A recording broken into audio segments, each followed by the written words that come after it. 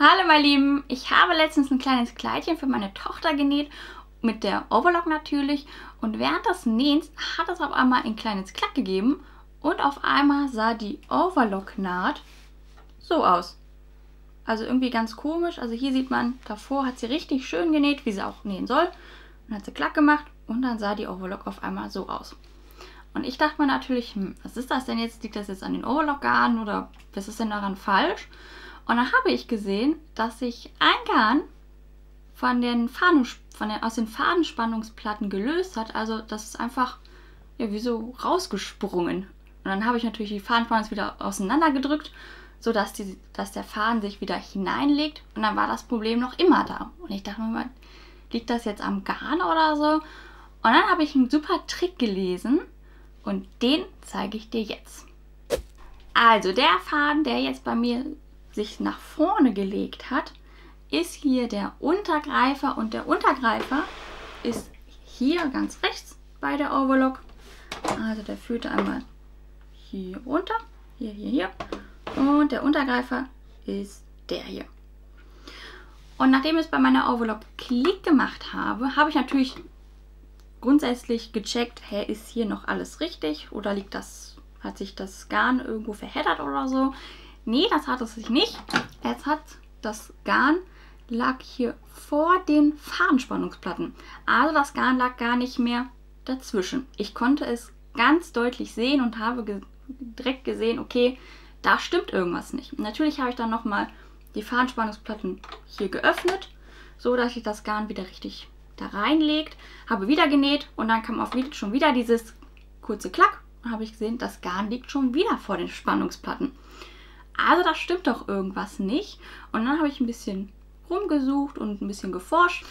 Und dann habe ich einen richtig tollen Trick entdeckt. Und zwar ist es, man soll bei der Overlock, also wenn sowas halt vorkommt, ein Overlock-Garnnetz verwenden. Das sieht so aus. Dieses Overlock-Garnnetz findest du in deiner Zubehörbox von deiner Overlock. Das heißt, man muss auch nichts dazu kaufen. Wenn du dieses Overlock-Garnnetz dann gefunden hast, dann nimmst du dir einmal deine Overlock-Kone. Ich zeige jetzt nur einmal, was ich jetzt eigentlich meine. Wenn du jetzt eine Overlock-Kone vor dir stehen hast und du drehst das einmal ab, dann kann es passieren, dass die, da die Overlock ja sehr viele Stiche macht, dass sich das Garn zu schnell immer wieder abrollt und das Garn fängt ein bisschen an, ja ich sag mal, es fängt an zu zittern und dadurch macht es dann diesen Schlenker über die Farbenspannungsplatten. Und um das zu verhindern, stülpt man einfach dieses Netz hier über das Garn. Also hier hast du dann natürlich dein Garn, was du benötigst, lässt das einfach runterhängen und stülpst das Garn darüber. Und jetzt hat das Garn sagen wir, so, so eine gewisse Spannung und kann sich nicht allzu schnell, also es fädelt auch sehr schnell ab, aber hier passiert es nicht, dass es zu viel zu viel Garn auf einmal abgerollt wird. Also es wird wirklich nur das abgerollt, was die Overlock gerade zieht an Garn. Und das habe ich dann gemacht.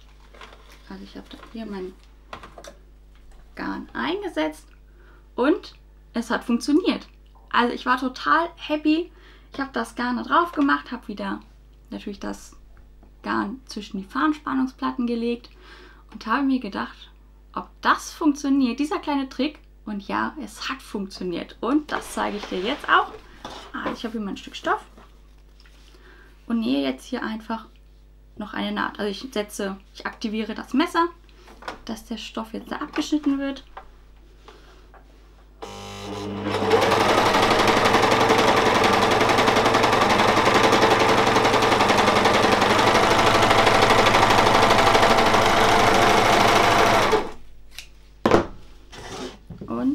Wir da wieder eine richtig tolle Overlock-Naht. Also ich hätte nie gedacht, dass dieses kleine Netz so eine große Wirkung haben kann. Aber ich kann ja sagen, wenn du auch so, so, also so Federstiche hast oder du siehst, ah, da, da liegt das gar, gar nicht mehr in der Fadenspannungsplatte, dann besorg dir auf jeden Fall dieses Netz, denn es ist wirklich ein, ja, ich sag mal, ein, ein Wundermittel.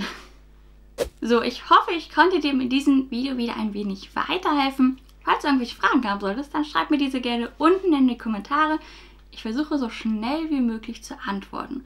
Falls du auch irgendwelche Tricks kennst, dann schreib mir diese gerne unten in die Kommentare, weil wie du jetzt gesehen hast, mit, so einem, mit diesem Overlock-Garnnetz, was das für eine große Wirkung hat, das finde ich richtig, richtig klasse. Und falls du natürlich, wie schon gesagt, wenn du auch so einen Trick kennst, dann ab damit in die Kommentare. Ansonsten wünsche ich noch einen wundervollen Tag und bis zum nächsten Video. Deine Jana.